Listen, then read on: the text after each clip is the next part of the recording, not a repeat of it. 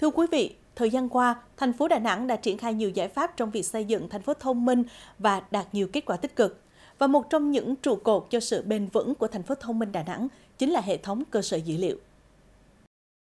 Dựa trên ba trục là hạ tầng dữ liệu thông minh, Đà Nẵng đã xác định lộ trình cụ thể, huy động toàn bộ nguồn lực xã hội, xây dựng thành phố thông minh và bước đầu đạt nhiều kết quả nổi bật. Trong đó, về hệ thống dữ liệu, Đà Nẵng đã hoàn thiện các cơ sở dữ liệu nền như cơ sở dữ liệu công dân, doanh nghiệp, nhân hộ khẩu, đất đai, bản đồ nền GIS và 560 cơ sở dữ liệu chuyên ngành, đặc biệt sử dụng dữ liệu số thay cho thành phần hồ sơ người dân phải nộp đối với sổ hộ khẩu, giấy chứng nhận quyền sử dụng đất, giấy phép đăng ký kinh doanh, hình thành kho dữ liệu dùng chung, đưa vào sử dụng cổng dữ liệu mở với gần 600 tập dữ liệu và đa dạng kênh khai thác tra cứu. Thì chúng ta hình dung thành phố thông minh nó giống như một cái cơ thể sống thì nó phải có cái hệ thống dữ liệu tập trung à, của tất cả các sở ban ngành và dùng chung luôn cho cả người dân cho cả cộng đồng doanh nghiệp. Thì khi tất nhiên là theo cái phân quyền nhất định đấy thì dùng chung cái dữ liệu như vậy thì nó tạo ra cái hiệu quả đột phá rất là lớn. Việc xây dựng thành phố thông minh là một cái xu hướng tất yếu à, để chúng ta dùng công nghệ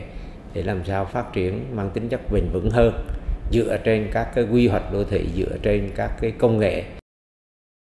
Tuy nhiên, trong bối cảnh công nghệ phát triển như vũ bão, đòi hỏi của mọi mặt đời sống xã hội ngày càng gia tăng, Đà Nẵng cũng đang đứng trước nhiều thách thức về đổi mới công nghệ, hạ tầng nhân lực và nhất là xây dựng được hệ thống cơ sở dữ liệu để đáp ứng kịp yêu cầu đặt ra trong tình hình mới. Bây giờ công chí nên uh, nhớ rằng cơ sở dữ liệu chính là tài nguyên và chính là tài sản và ở bất kỳ một quốc gia hay một địa phương nào chúng nếu có được cơ sở dữ liệu là sẽ là một trong những cái nguồn lực để cho sự phát triển.